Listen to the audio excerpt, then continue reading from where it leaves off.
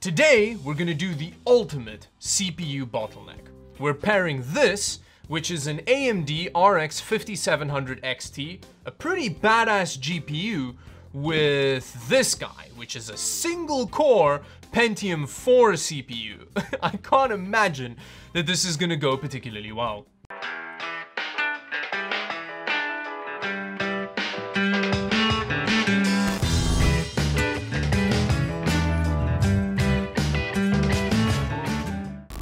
First things first, this CPU, along with the motherboard, was actually sent by a viewer called Noah. So thank you very much, Noah, for sending in this combo so that I can do this ridiculous video.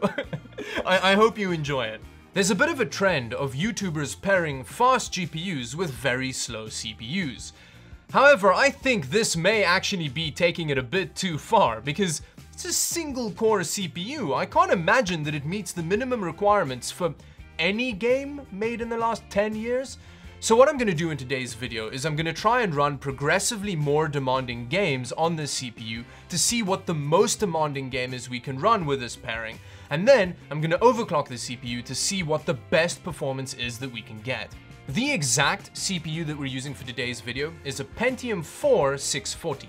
It's a single core CPU with a base clock of 3.2 gigahertz. And it also has hyper-threading, so that, that really gives it an edge over other single core CPUs. Yeah, let's see, maybe this works. Let's go to the process of actually trying to get this CPU motherboard combination working. And here we have the base setup that we're going to use for this extreme bottlenecking challenge. Uh, now an interesting thing with this motherboard is that it's got both uh, DDR and DDR2 memory compatibility. Uh, so that does limit the max amount of RAM that you can actually use in the system to 4 gigs. Uh, so that's what I have here. I've got 4 gigs of very, very plain looking RAM. Now there are a couple of things, uh, problems that we have to deal with on the motherboard. The first one is that we have a couple bent CPU pins on the socket, so I'm gonna have to straighten those out. And then um, there's also like a, like the CMOS battery is gone, uh, but I've got another one that I can use for that. From what I can tell, uh, we have two bent pins, which shouldn't be too much of a problem to deal with. Now with a little bit of prodding around, I actually think the pins are kind of straight enough so that they'd make decent contact with the CPU. Um, I didn't do it on camera because it feels quite a bit like poking around in someone's brain. Now that was a lot more of a nuisance than I actually thought it was going to be. I tried various coolers and for some reason none of them have LGA 775 compatibility, except for this beast. This is the only cooler I have that's actually compatible with the socket.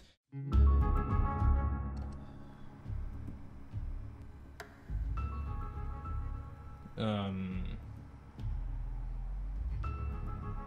that's not ideal. I have a new motherboard. Weirdly, it looks very similar to the previous one, although it is a completely different model. Uh, so let's see whether or not it works. If it doesn't switch on now, it's almost definitely the CPU that's the issue. Okay, it seems like it works, which is very exciting. So what I need to do is I need to install Windows 7 on this bad boy.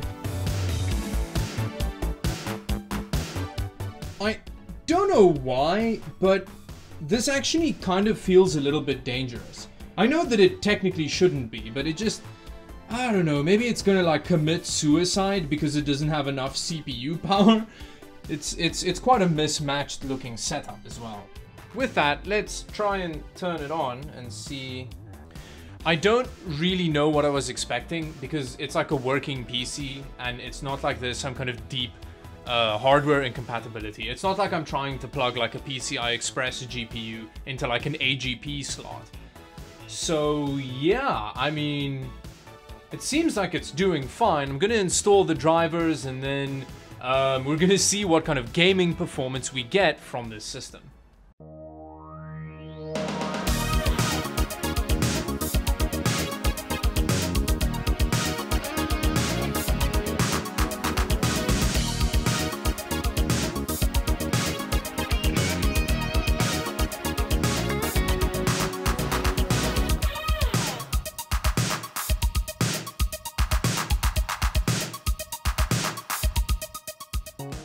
I think that's definitely the lowest Cinebench score I've ever gotten on this channel. With the entire installation process out of the way and the hilarious Cinebench score, it's time to see if we can actually play games with it.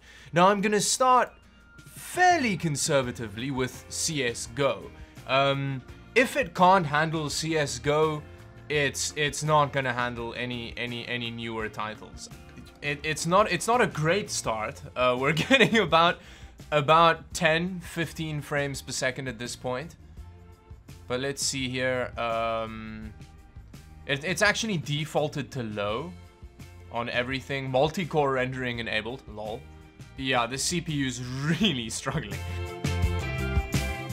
But I actually think it's crashed. No, no, no, no, no.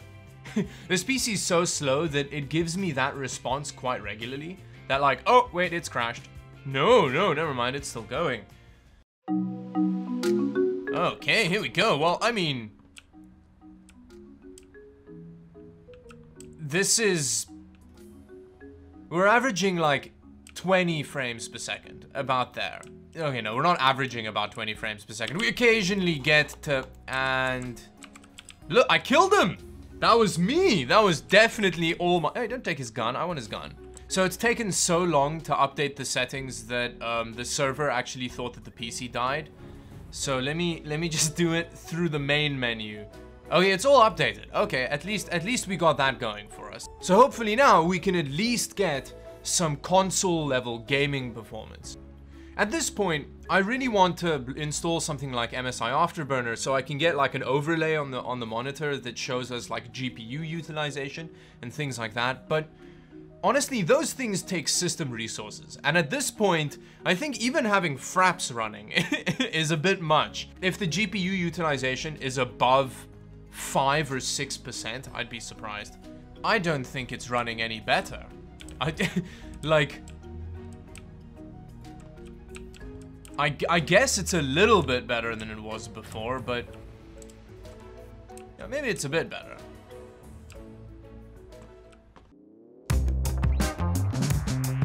There, there's some pretty bad stuttering. Like, the, the, there the, there's the occasional fairly big jerk. But, this is entirely playable. Oh. Oh. Almost got me there. Wow, they're actually really... Oh, facehugger. Not not facehugger. What are they called? Head crabs here. I mean, like, they're the same thing. At, at risk of massively infuriating some fanboys. Facehuggers and head crabs are essentially the same thing. After getting pretty decent Half-Life gaming performance, I decided to try out Crysis. Now the reason that I thought Crysis would work was because it came from the days when quad cores were just being introduced and dual core CPUs were still the norm. However, I just couldn't get the game running. I don't know if it was down to hardware incompatibility or just Crysis being a pain in the butt, uh, because I honestly always have problems getting Crysis running, uh, but nothing I did could get the game to work. After that, I decided very stupidly to go for PUBG, and that didn't work either. Finally, I tried to play Rise of the Tomb Raider, which also refused to run. I think all of these games refuse to run based on just the CPU not meeting the minimum requirements. After that, I decided to overclock the CPU to see what the best performance was we could get for CSGO, which is the newest game I could get running on the system. My first attempt was overclocking from 3.2 GHz to 3.6 GHz, and this is what happened. Okay, so this is significantly better. Um, it's not quite playable yet. We're getting you know, mid 30s, but this is significantly more playable than it was before. And that gives me hope that if we push the CPU even further, we can get even better performance. Now after this very successful attempt, I tried to overclock the CPU to 4 GHz. That didn't work, the highest clock I could get stable was actually 3.9 GHz. The stuttering is not as bad and it's Okay, never mind. There's still a lot of stuttering. Um, it's still not playable, really. Um, like, you're gonna die a lot based on, on, on PC performance here. That was actually fairly disappointing. I was really hoping that I could run newer games on this system, but honestly, what was I expecting? Like the CPU was launched in 2009. The simple fact that a 7nm GPU from 2019 is even compatible with this system is pretty impressive, I'd say. And it was really interesting to see how big a performance jump the overclocking made, um, although that makes complete sense considering that the CPU was like the entire bottleneck in this situation. That brings me to the end of another fairly pointless video. Thank you very much for watching. If you liked the video, like and subscribe to the channel for more videos like this one. I stream on Twitch on Saturday, so follow me there. And I've got an Instagram, a Twitter, and a Discord server. All that stuff is linked in the description below. And until the next video, bye-bye.